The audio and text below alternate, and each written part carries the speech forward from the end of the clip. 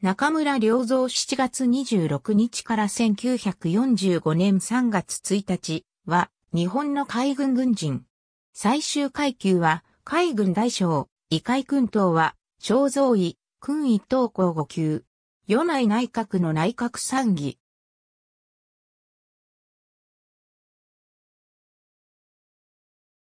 青森県弘前市出身、旧弘前藩士で医師の中村春代の次男。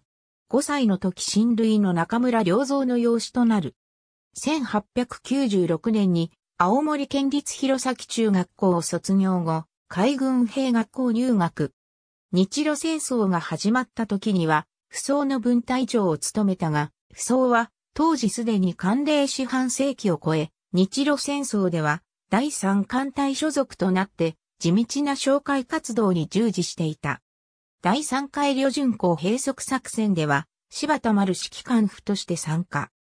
1905年1月に行われた移動では、最新鋭の巡洋艦、明石の航海長見聞隊長に捕食され、第2艦隊の第4戦隊として日本海海戦に参加した。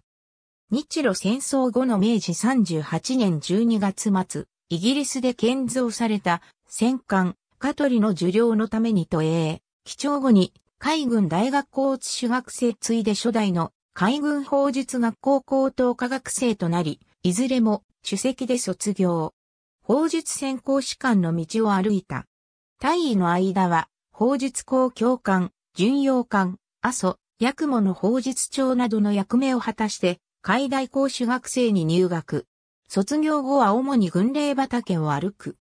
第一次世界大戦中には、軍令部参謀、後作戦課長を務め、対米作戦の基本となる前言洋撃作戦の整備を行う。イギリスから要請された日本艦隊の地中海方面への遠征には反対し、賛成派の秋山正幸と対立したが、第二特務艦隊が派遣された。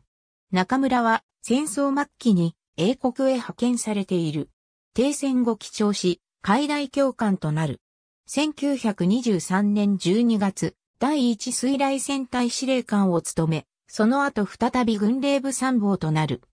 1926年12月から1929年11月まで海大校長を務め、1930年12月、山本エスケ連合艦隊司令長官の下で、第二艦隊司令長官を命ぜられた。一年の艦隊暮らしの後は、佐世保鎮守府と呉鎮守府の司令長官を歴任する。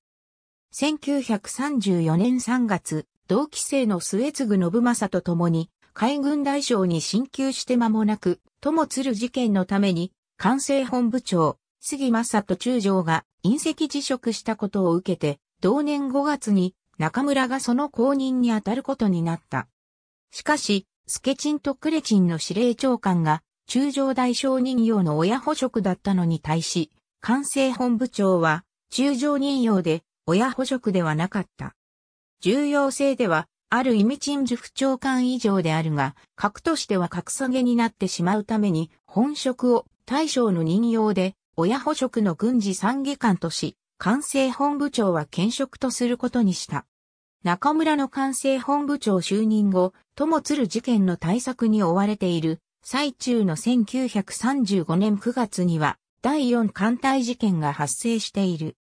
多事多難だったと言えるが、逆に戦争直前のこの時期に欠陥が露呈したことで、かえって戦争前に対策が確立できたことは幸いだったとも言える。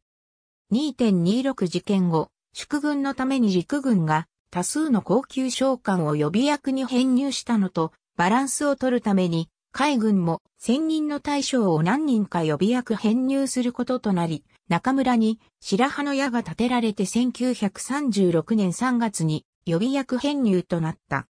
その後、公安委員会委員、内閣参議を歴任、昭和20年、終戦の半年前、高血圧と急性肺炎を併発して、横浜市鶴見区の自邸で死去した。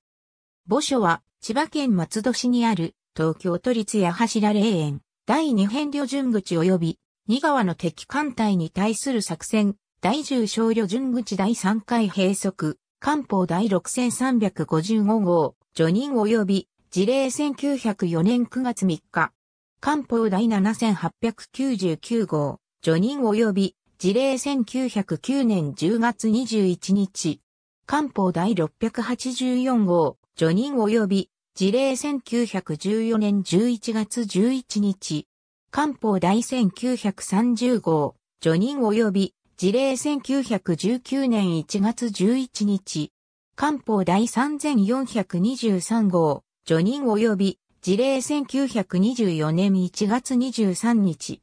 官報第358号、除任及び、事例1928年3月10日。官報第1212号、除任及び、事例1931年1月16日。官報第2132号、除任及び、事例1934年2月12日。